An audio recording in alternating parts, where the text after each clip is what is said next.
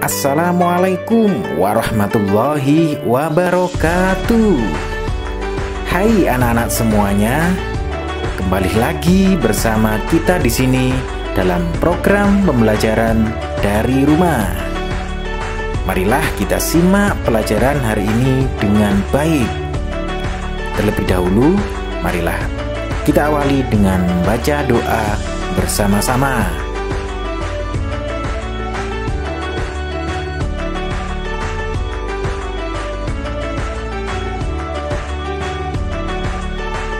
Jangan lupa subscribe bagi yang belum ya.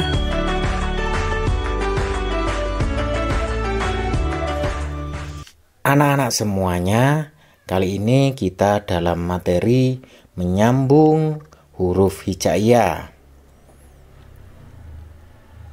Terlebih dahulu, sebelum kita mencoba menyambung huruf hijaiyah, marilah kita perhatikan dan kita simak materi yang telah lalu yakni bagaimana bentuk-bentuk huruf hijaiyah ketika disambung baik di awal, di tengah, maupun di akhir.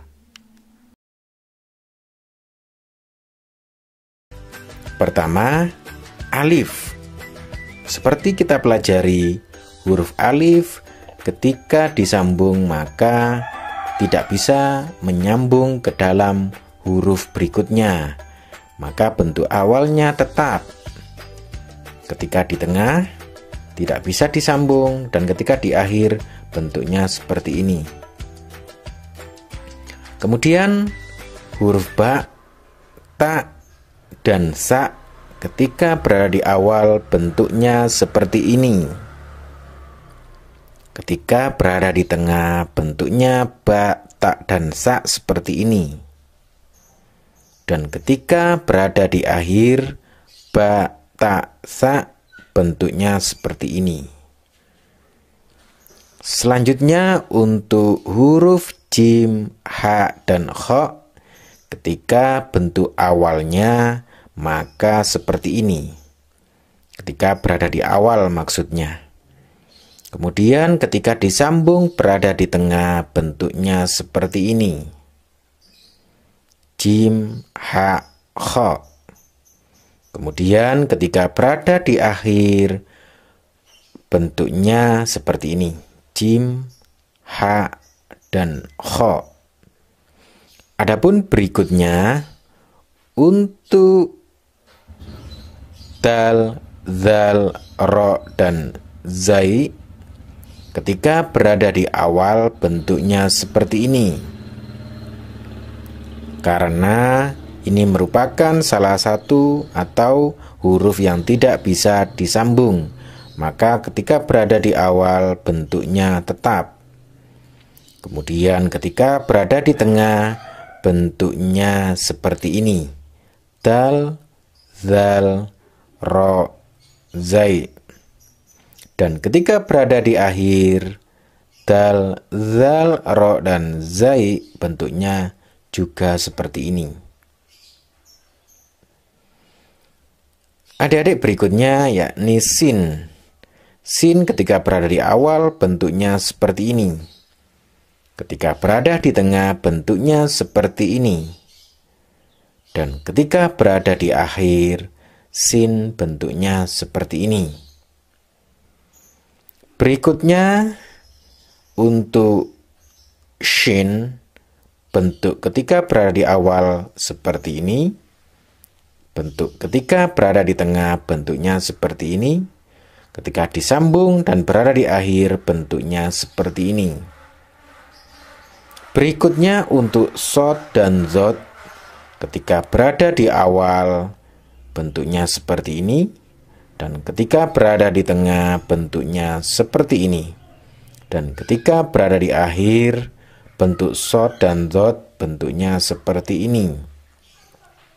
Selanjutnya untuk to dan do ketika to dan do berada di awal bentuknya seperti ini.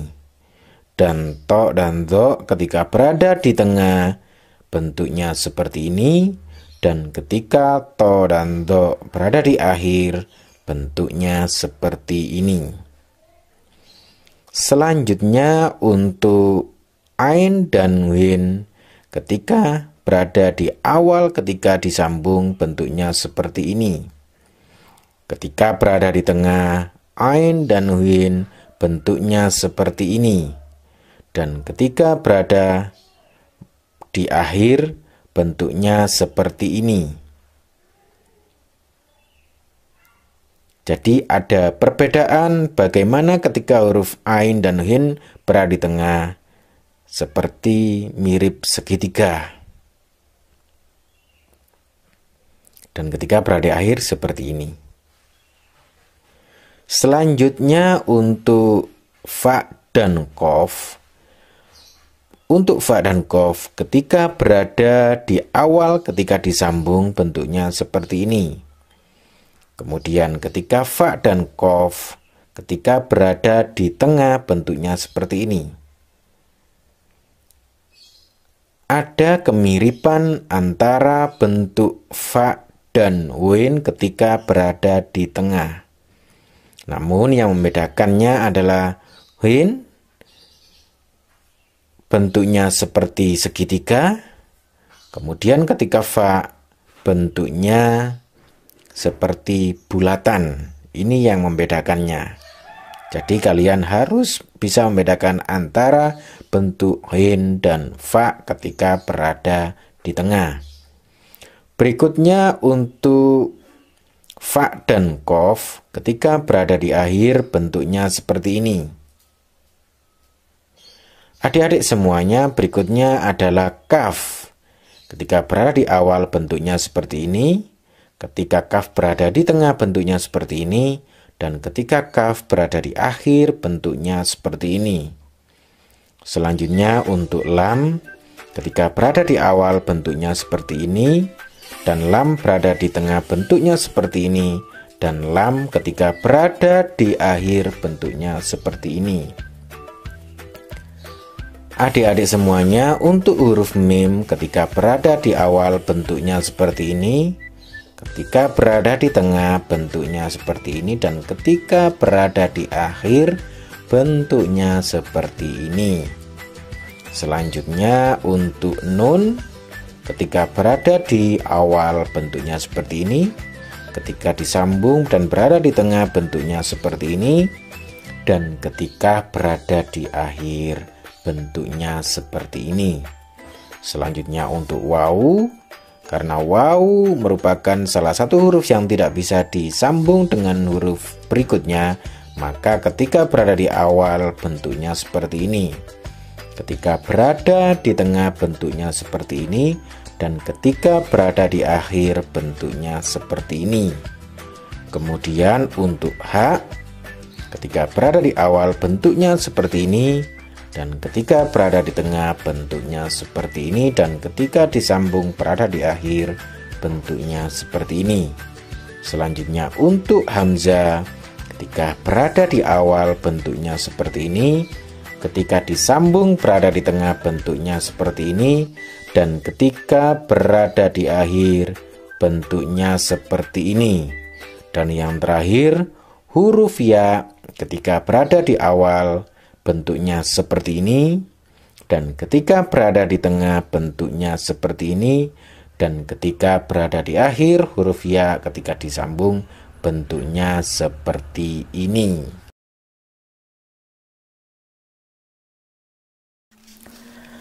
Anak-anak semuanya, setelah kita mempelajari atau mengulang kembali bagaimana bentuk huruf hijaiyah ketika berada di awal, di tengah maupun di akhir, serta ketika menjadi huruf tunggal, maka berikutnya marilah kita mencoba menyambung huruf-huruf hijaiyah.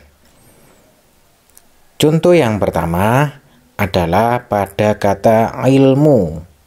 Pada kata ilmu terdapat dua terdapat tiga huruf maksudnya. Yang pertama ain, kemudian yang kedua lam, kemudian yang ketiga yang berada di akhir adalah mim. Di sini dapat kita lihat bagaimana ain ketika berada di awal bentuknya seperti ini. Kemudian lam ketika berada di tengah bentuknya seperti ini. Dan huruf yang terakhir adalah mim ketika berada di akhir bentuknya seperti ini. Setelah dirangkai dari huruf ain, lam, dan mim menjadi seperti ini. Berikutnya untuk contoh yang kedua adalah dari kata wakot Huruf yang pertama adalah waw. Ketika berada di awal bentuknya seperti ini.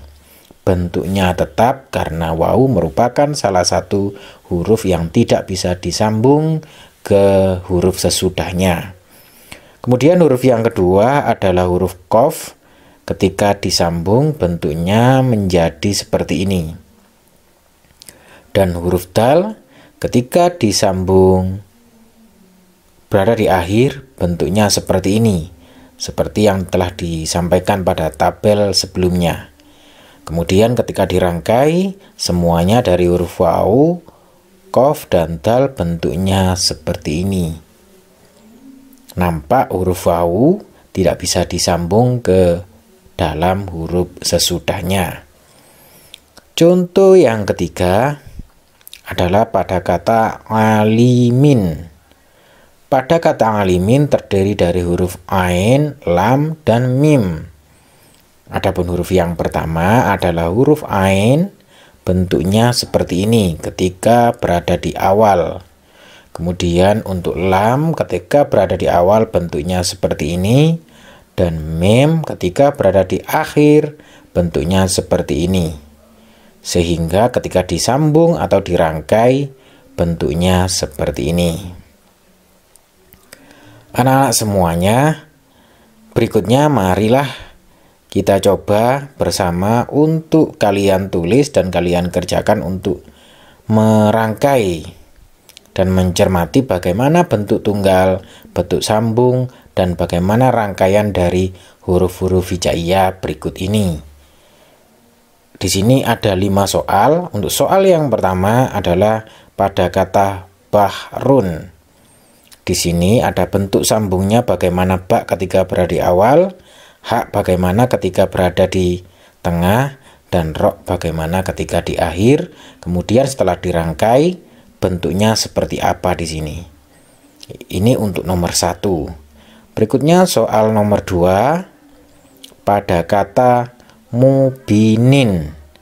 Bentuk tunggalnya seperti ini. Bentuk sambungnya gimana untuk mem ditulis di sini berada di awal, baknya berada di tengah bagaimana, dan nunnya ketika berada di akhir bagaimana, kemudian setelah dirangkai semuanya bentuknya bagaimana. Itu untuk soal nomor 2. Berikutnya untuk soal nomor 3. Ini ada tiga huruf yang sudah merupakan bentuk bentuk ketika akan disambung. Ini hak, ini dal, ini sa. Hak bagaimana ketika di menjadi huruf tunggal, dal bagaimana ketika menjadi huruf tunggal dan sa bagaimana ketika menjadi huruf tunggal. Nampak di sini sa tidak disambung berarti sa di sini tetap menjadi huruf tunggal. Dan bagaimana ketika dirangkai? Silakan ditulis di sini.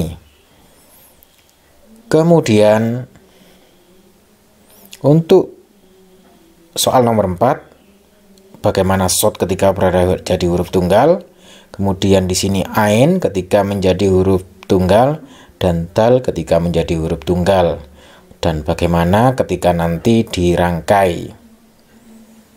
Kemudian soal yang terakhir ini Ada kata salima. Bagaimana sin ketika berada di awal atau di, menjadi huruf tunggal, kemudian lam menjadi huruf tunggal dan mim menjadi huruf tunggal.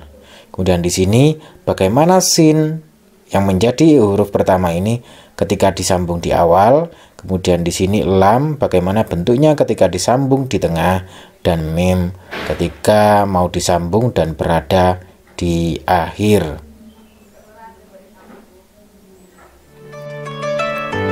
Anak-anak semuanya, demikian tadi pembelajaran pada kesempatan hari ini.